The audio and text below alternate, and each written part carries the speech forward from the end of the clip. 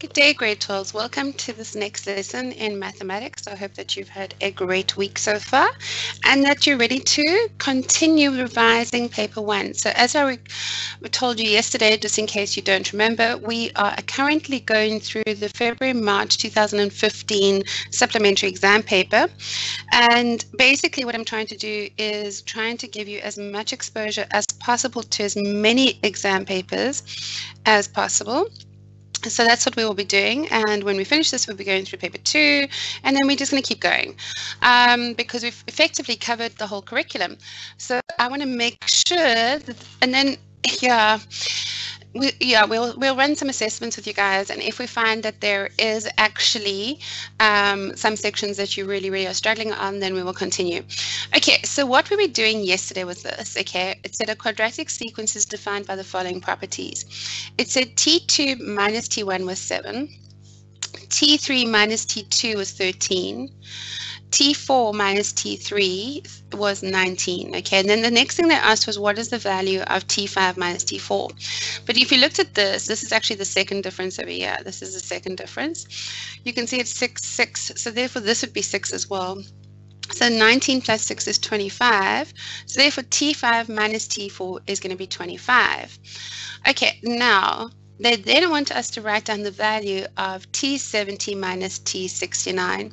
So we're actually looking at, and I need you to understand that this is what we're doing, we're actually looking at this part here. We're pretending that this is our sequence. Because if we look at this 7, we see it's T2 minus T1. 13 is T3 minus T2, 19 is T4 minus T5, and 20 is T5 minus T4. Then we actually have not a quadratic sequence. We actually have a linear sequence, a normal AP with terms 1, 2, 3, and 4. And you can see that T4, the fourth term was T5 minus T4, the third term was T4 minus T3, the second term was T2 minus T1, and the first term was T2 minus T1, which means that we are looking here for the 69th term of this arithmetic sequence. And that's as far as we got. We got as far as T69 is equal to A plus N minus 1D. So now what we need to do is work out our different bits that here. So our A is obviously 7 in this case. Our D is the common difference, which in this case is 6. We've already worked it out. And our N in this case is 69. So we're going to go T69 is equal to 7 plus 68 times by 6. Why is it 68? Because it's n minus 1, so it's 69 minus 1. And all I'm going to do is pop that in my calculator. So I'm going to get my calculator out, and I'm going to clear it. And I'm going to go 68 multiplied by 6 plus 7 equals 415. So that's 415. Okay, so there you go. You now know that this term here, T69, is actually well, the value of T70 minus T69, which in this case is T69 of this bit here, is going to be 415. So in other words, the gap from T7 in other words, if we had to carry this on, this gap T70 to T69 is going to be 415. Okay, now they say calculate the value of T69. They actually want the 69th term now of the actual sequence. They want the 69th term of the actual sequence. And they say if T89 is 23,594. Okay, so they want, they're telling us that the actual one is T89 is 23,594. Um, and they want to know what T69 is. Okay, so that's quite a big gap to have to add up physically by ourselves. They obviously want us to use formula. So just to let you know, just to remind you that for a quadratic formula, Tn is equal to um, an squared plus bn plus c, obviously. And the way this works is that this is equal to 2a, this is equal to um, 4a plus b, and this last one, t1, would be a plus b plus c, which we don't have. Okay, so um, let's just think about this. It says calculate the value of T69 if T89 is 23,594. Okay, so we know, therefore, that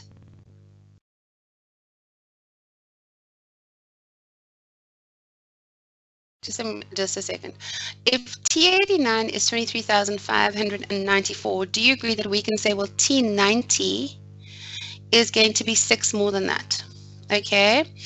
Um, well, actually, the gap from T90 to 289 is going to be six more than that.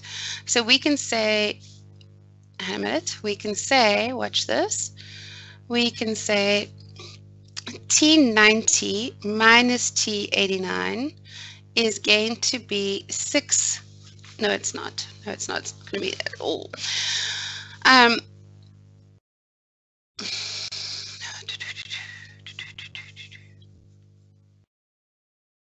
oh, I'm being silly. Um, okay, I'm being silly. I'll tell you why I'm being silly. Um, okay, let me explain. This year, T69 is the 69th term of this thing okay, of this AP. But it's not the 69th, it's the 69th term of the AP. This is the 89th term of the arithmetic sequence, and they want the arithmetic, the value of the T69 of the arithmetic sequence.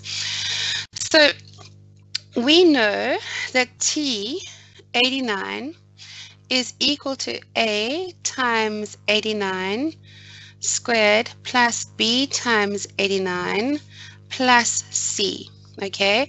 But we also know, what do we know? Let me just erase all the other writing because I actually need to write all over this again. So let's erase all the.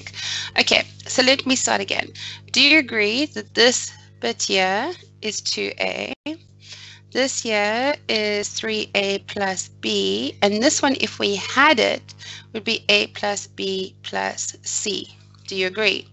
So we can say, okay, fine, from this we know that 2a is 6, therefore A is 3. Awesome.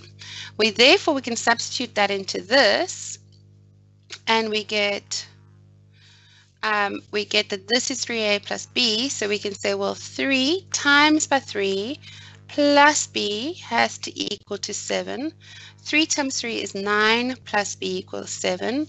So do you agree that b is going to be minus 2?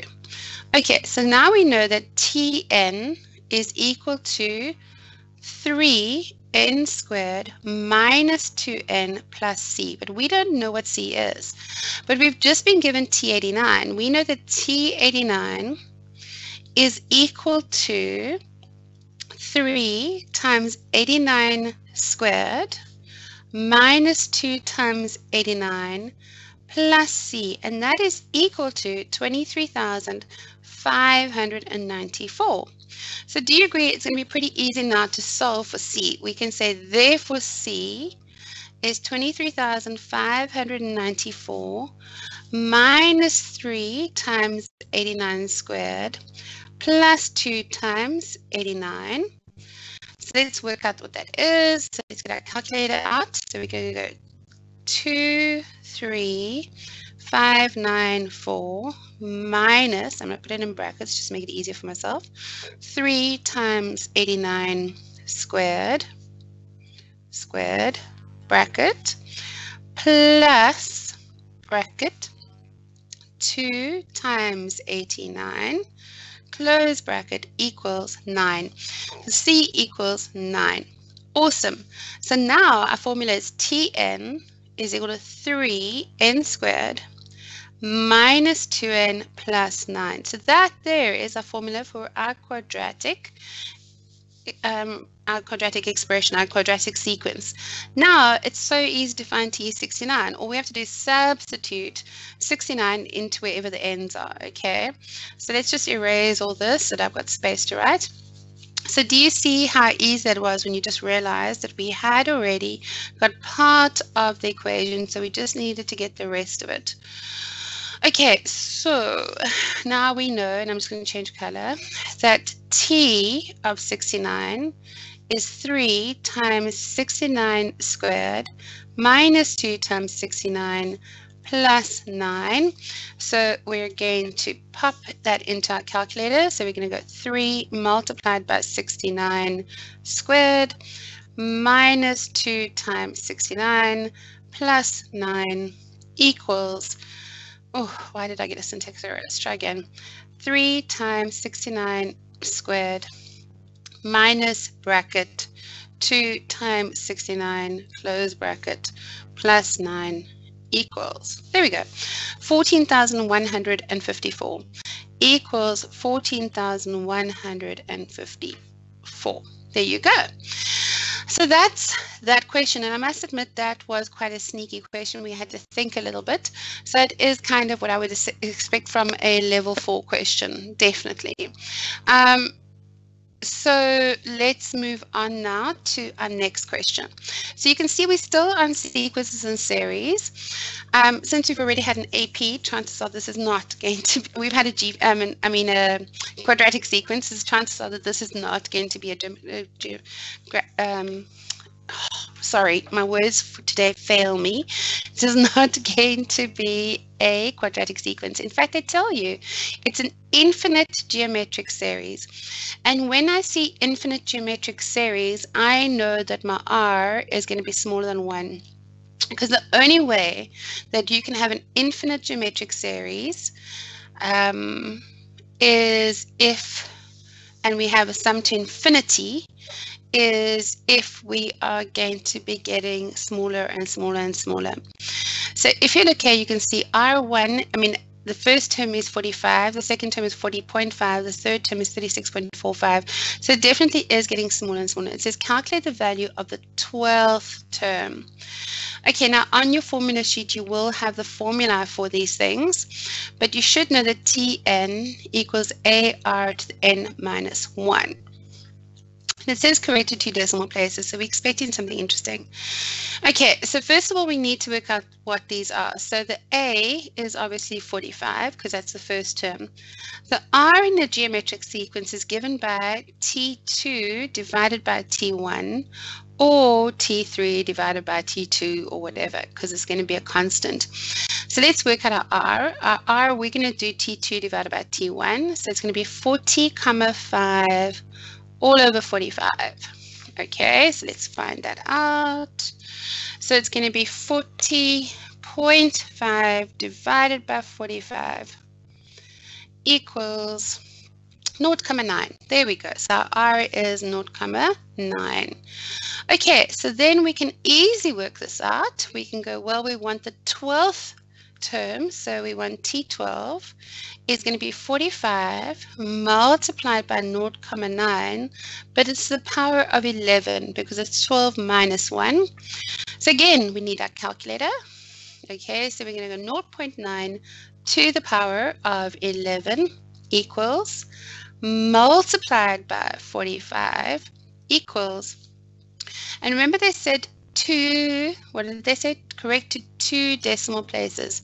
So now we have to look at this and we have to round off and that's pretty easy because that's a 1 so this remains the same. So it's 14.12.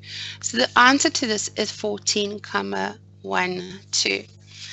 Now it says explain why the series converges and it's very easy. It's because r is smaller than 1, which means that it's going to get closer and closer and closer to a specific number. Right, now it says calculate the sum to infinity of the series. Okay, so sum to infinity is equal to a over 1 minus r. Okay, a over 1 minus r. So that's really easy. The a is 45 over 1 minus 0,9, which is 45 divided by 0,1, which is going to be 450. So in other words, if we keep adding these numbers, and even though the numbers get smaller and smaller and smaller, we're going to get closer and closer and closer to 450, but obviously never quite get there. Eventually, I mean, the sum to infinity, so if eventually we could get to the sum to infinity, it would equal 450. Now it says, what is the smallest value of n for which the sum to infinity minus the sum of n is smaller than 1? Okay, so the sum to infinity is 450 minus the sum n is smaller than 1. So what we need to do now is to check whether or not we know what the formulas are for the sum of this. And it's going to be what? It's going to be a times 1 minus r to the n. The sum to n is going to be a times 1 minus r to the n all over 1 minus r. Remember that?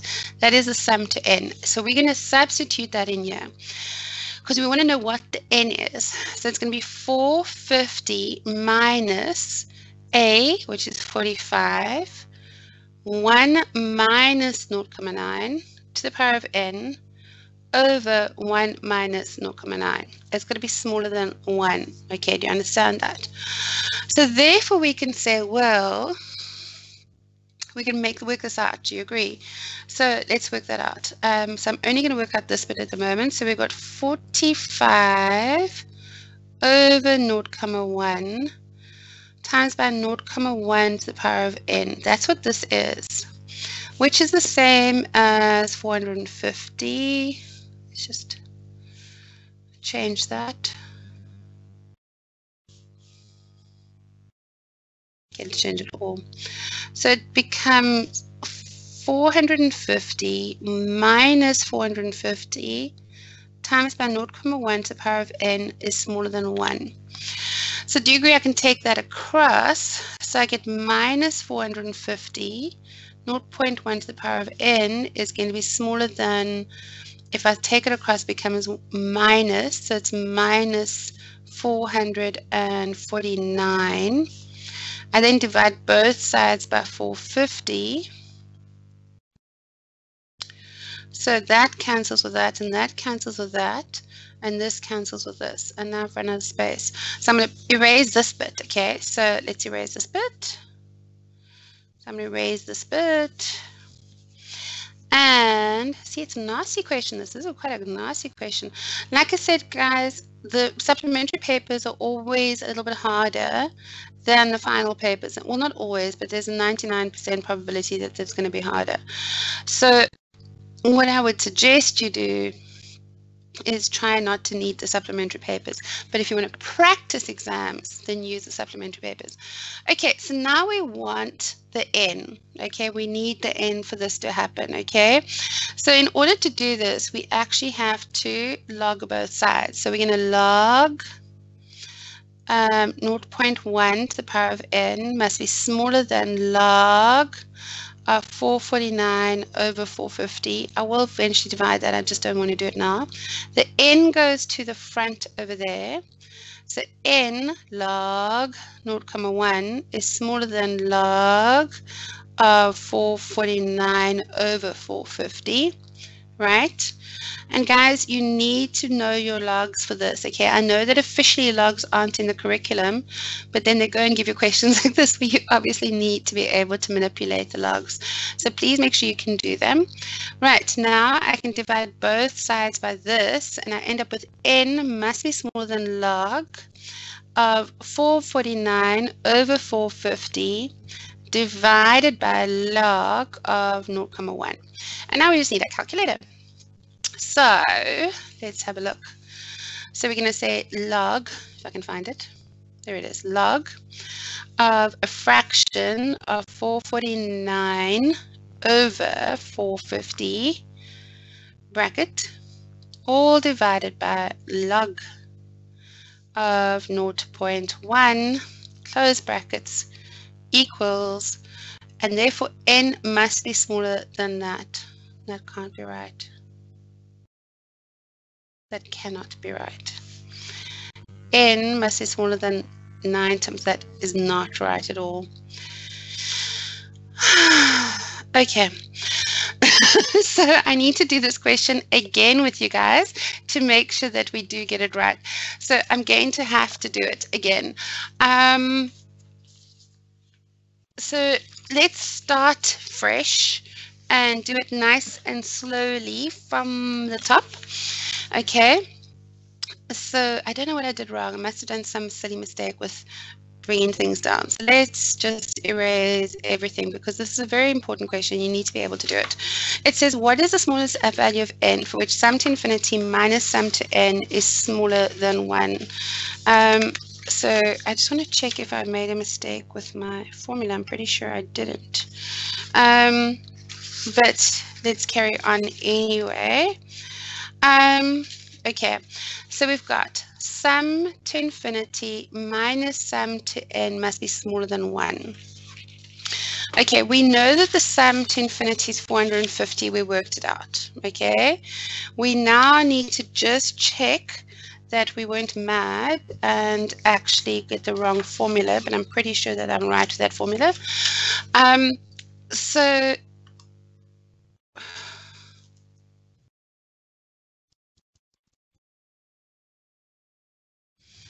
we've got, so what we can say is, um, therefore, do you agree that we can say minus Sn is smaller than 1 minus the sum to infinity?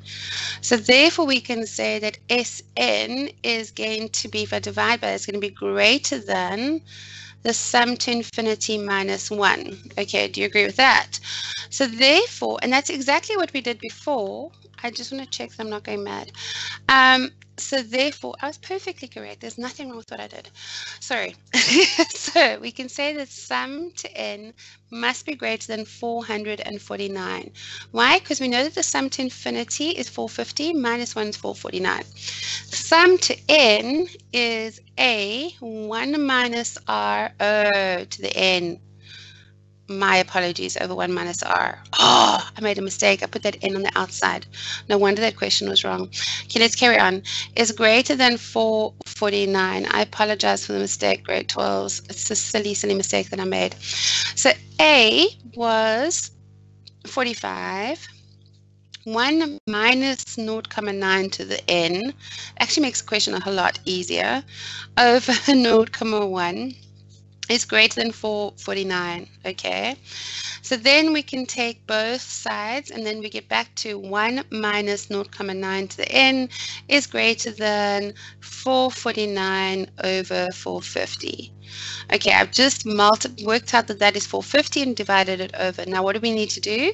We need to subtract 1 from both sides. So we get minus 0,9 to the n is greater than 449 over 450 minus 1. We're going to divide everything by the minus to get rid of that. So when we do that, we have to change the sign again. So we get 0.9 to the n is smaller than, oh, I don't know why it does this. 1 minus 449 over 450. So 0.9 to the n is equal to, let's just do that on our calculator. So if we do that, we got 1 minus fraction 449 over 450 equals 0,00222222. I'm going to leave it as 1 over 450. Okay, for the time being. I was hoping to end up being a nice number. Now we can log both sides. So we go log 0,9 to the power of n is log of 1 over 450. So then we go n log 0.9 is log 1 over 450. So the whole thing was right except for the where the n was. So you need to be careful of that. So then we go, okay, fine. Then we divide both sides by this log of 0.9. And we get what? Okay, so let's do this. So we've already said that, that it was 0, 0.2. So now we can log the answer and close the bracket, bracket, and divided by log of 0, 0.9 comma 9 9 close bracket equals and that's 57 comma 9 8 57,98. And only thing I needed to do is make sure that it was smaller than, that was smaller than, that was smaller than. Therefore, n is smaller than 57,98. So what is the question? The question is, what is the smallest value that n can be? Well, it has to be smaller than 57,98. The smallest value of n for which this works is going to be 57. 57. Okay, not too bad, hey? if you just get your formula right. Now, it says, given that got g of x is 6 over x plus 2 minus 1. So this obviously is an hyperbola. Okay, that has been shifted. It says write down the equations of the asymptotes of g. So what we need to do is think about what has happened here. We've moved this one unit down and we've moved this two units across, okay? So the asymptote is definitely going to be um, y equals minus 1 because that's what would normally be 0 is now going to be over. Now the plus 2, remember that what happens is you've got to flip it over. So you have to know, think about what do I need to add to make this happen, and it have to add a minus 2 for this to go away. So therefore the other asymptote is x minus 2. x equals minus 2. Let me write that again. x equals minus 2. Now it says calculate the y-intercept. Okay, so on the y-intercept, x equals naught. So therefore we're going to say g of naught is going to be 6 over 2 minus 1. 6 divided by 2 is 3 minus 1, which equals 2.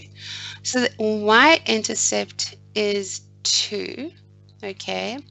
The x-intercept is when y equals naught, okay? So 0 is going to be 6 over x plus 2 minus 1. So we can take the 1 across, and that becomes 6 over x plus 2. Multiply both sides by x plus 2, and you're left with 6 and then you take it across and it becomes x is equal to 4.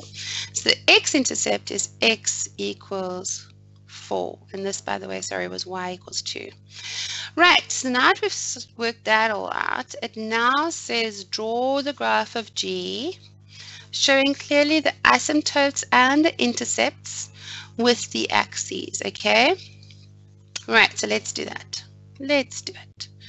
Okay, so now, first of all, we need a y-axis and we need an x-axis. Okay, we know that it's going through the point y equals minus 1. So y is going to be going through minus 1. y is minus 1. Sorry, y is minus 1 Sorry, this is x equals minus 2. Um, but I actually want to move it further over. Sorry, I actually want to move it further over. Just to make it a little bit easier for us to draw. So let's try again. This is x equals minus 2. And this is y equals minus 1.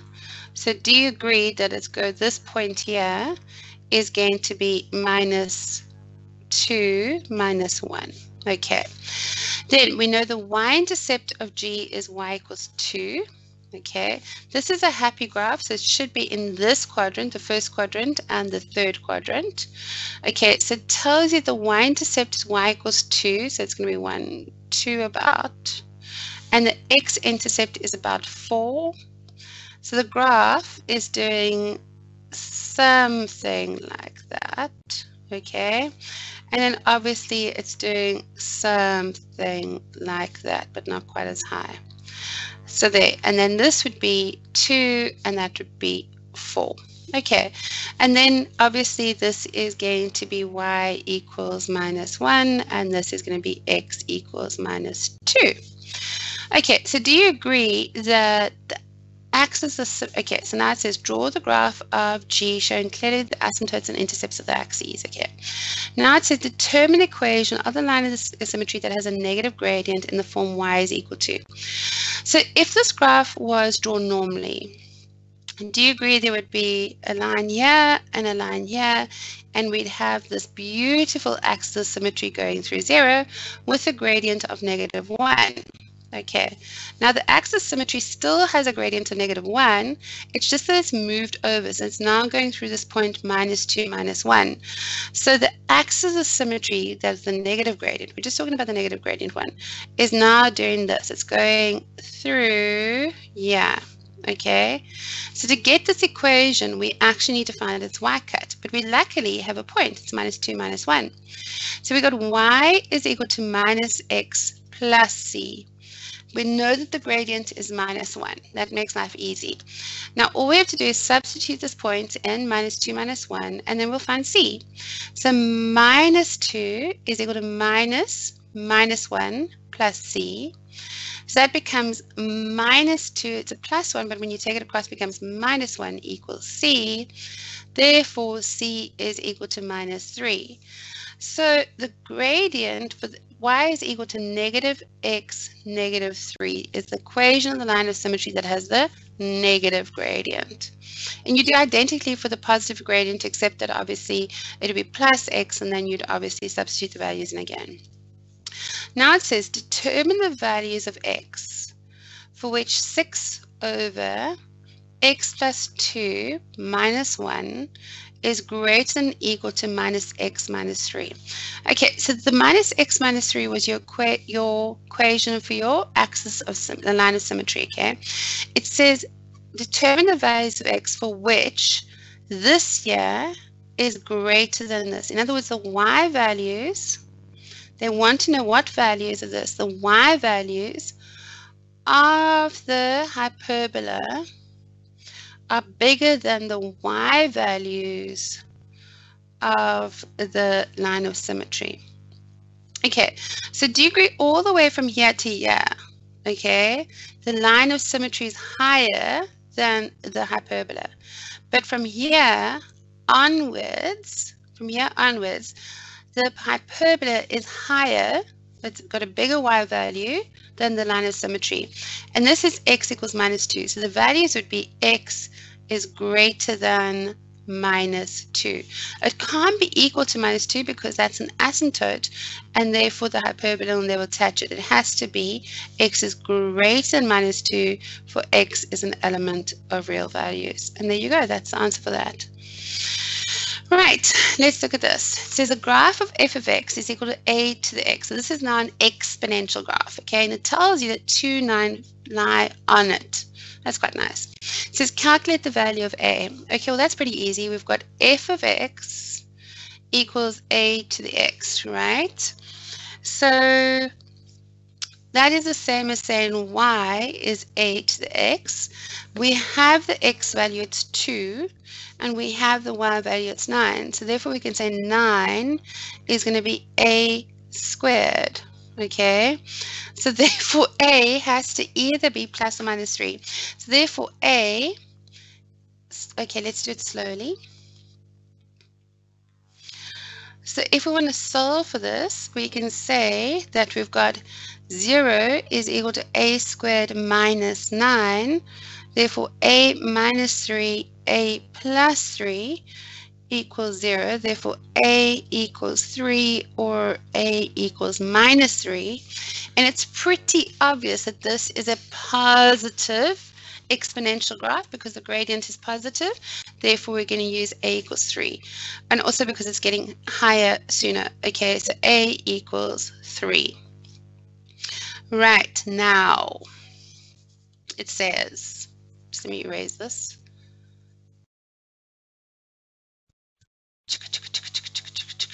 Sorry.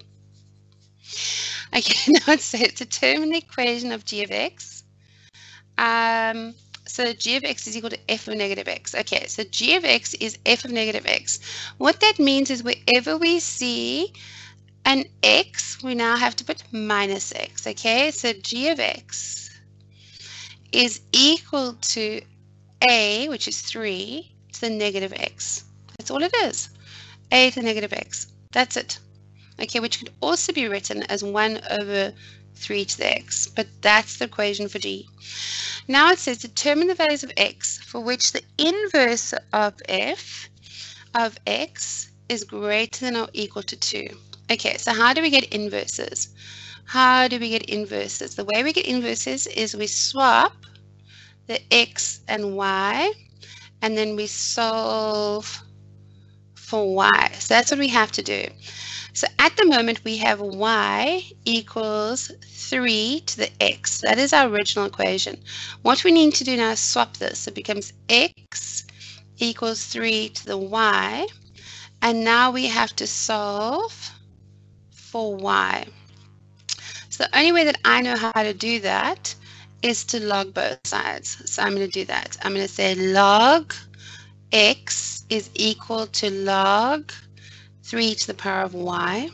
okay, then I'm going to say, okay, fine, I'm going to take the y to the front. So I've got log x is equal to y log 3. I can then divide both sides by log 3. Okay, that cancels with that.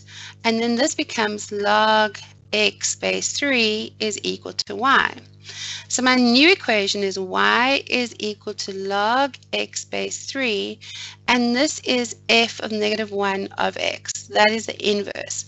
And it says determine the values for which this is greater than or equal to 2. So now we need to find out when log x base 3 is greater than or equal to 2. So that becomes 3 to the 2 has to be greater than or equal to x. Therefore,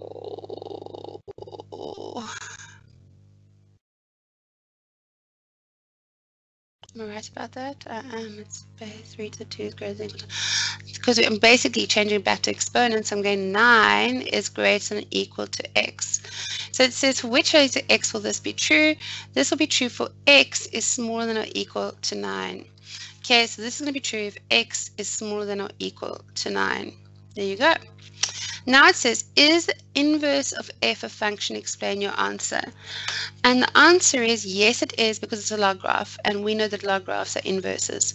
I mean, a function. So yes, it is. Okay. Another way of explaining it is saying for every x value, there's one and only one y value. Okay. Now it says the graph of f of x equals ax squared plus bx plus c. That's f of x and g of x, which equals mx plus k, are drawn. d minus 1, 1 minus 8 is a common point on f and g. f intersects at minus 3, 0 and 2, 0, and g is a tangent at d. Okay, now it says for, for which values of x is f of x smaller than or equal to naught? Okay, so all they're asking you is for which values of x is the y value of the parabola smaller than equal to naught. Or another way of saying it is when is this parabola below the x-axis?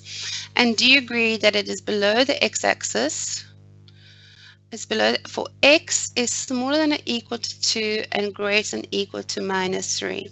All the way from here, all the way along here, all the way along here, f of x is smaller than or equal to 0. It's below the x-axis. Now it says determine the values of A, B, and C. Okay, so we know that we've got ax squared plus bx plus c, right? Um, which can be rewritten as, no, I don't want to write that. A x minus 2 x plus 3. That is going to give us the general equation for this, and then we need to work out what A is. Because this, these are our two x cuts. Okay, so this is equal to A x squared minus 2x plus 3x is plus x minus 6. Okay, now that is equal to f of x. But we know that there's a point on f and x. We got it. It's 1 minus 8. So when x is 1, y is minus 8. So I can say, okay, therefore I can say, using this formula here, I can say minus 8 is equal to a times by 1 squared plus 1 minus 6. Okay, so minus 8 is equal to a 1 plus 1 is 2 minus 6 is 4 minus 4 actually. So therefore a is minus 8 divided by minus 4 so a is 2 which I'm very excited to see because this is happy graph so you want this to be positive. Therefore the equation for this is f of x is equal to 2x squared plus 2x minus 12 so that point there is minus 12 Okay. So we've done that. To determine the values of A, B, and C. 2, A is 2, B is 2, and C is minus 12. Now it says, determine the coordinates of the turning point.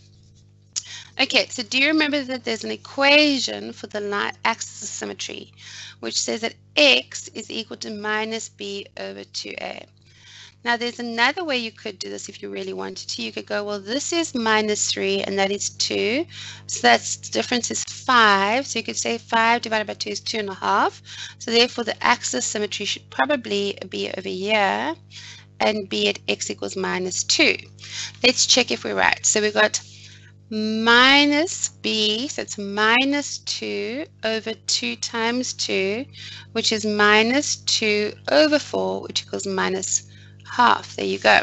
So therefore we know that the x value is minus a half. Let me just explain that again. We know that parabolas are symmetrical. We know that it cuts here at minus 3 and it cut at 2. So the axis symmetry is going to be exactly halfway between the two of these. So if we take these two together, it's 3 over there and 2 over there. So this is the difference of 5 across, which means the axis symmetry has to be two and a half units away from this one and two and a half units from this one, which is has to be at x equals minus a half. So now we know what the axis symmetry is. We now can find the turning point by substituting this back into the original. So we can go y is equal to 2 times minus a half squared plus 2 times minus a half minus 12, which is 2 times a quarter minus, those cancels, 1 minus 12. 2 times a quarter is a half minus 13. So that becomes minus 12 and a half.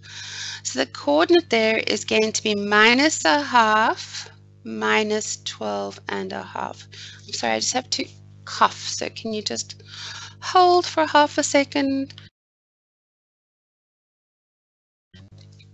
Okay, grade 12s, we're going to stop there. We'll carry on at this point in our lesson tomorrow. Please remember that our lesson tomorrow is at 3 o'clock since it's Friday. Have a great day.